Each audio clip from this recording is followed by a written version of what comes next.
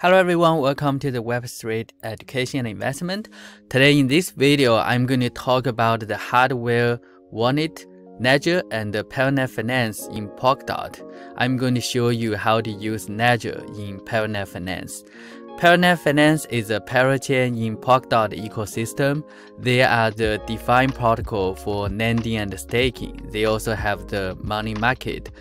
You can check it here in the money market, you can lend different assets in Polkadot and uh, also in Kusama.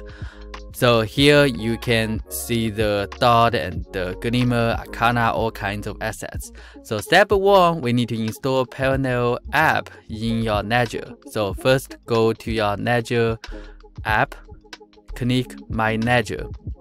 Now approve, and then you should search Parallel. After you find the app, click install and wait a little bit time, it will be installed. So this is the first step. Second step, attach and add Ledger to your JS extension. So first go to the JS extension on your top left, switch to Parallel. Now you can see there is a button add via Ledger. If you didn't see that, go to the setting and uh, make sure you set up the option. Now you can add the account, but there's an error because you need to go to your Ledger, select the Parallel app, and then now click Save. Now you already add the Ledger to the JS extension.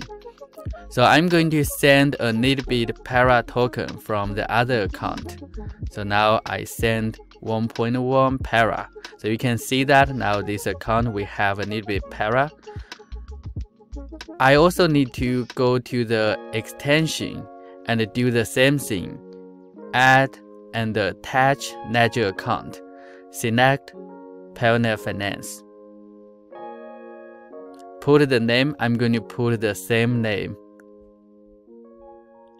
After I put the name, I will also need to approve through my Ledger. And you will see the address is the same as the one you just see here on your JS extension. Step 3. Connect to the Parallel app. So now I'm going to select the new account I just created. Go to the overview. You will see the balance Right now, I have a Nibit dot and I also have some Para token in my Ledger wallet. Click the money market. Now I'm going to show you how to land the asset.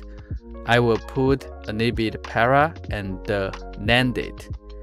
After I click that, it will need your signature and you will see the Ledger arrow here because I didn't approve from my Ledger.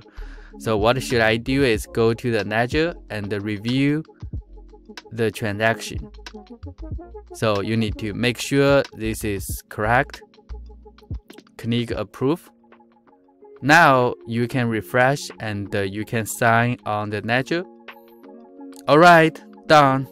Now you successfully land your para token. Same thing if you want to add the connect rule, you need to sign on your Ledger. So all the operations you need to do on your Ledger wallet. Overall, I just show you how to use Ledger on the Parallel Finance platform. We all know not your keys, not your coins, so it is very important to use the Ledger wallet or some other hardware wallet to protect your funds.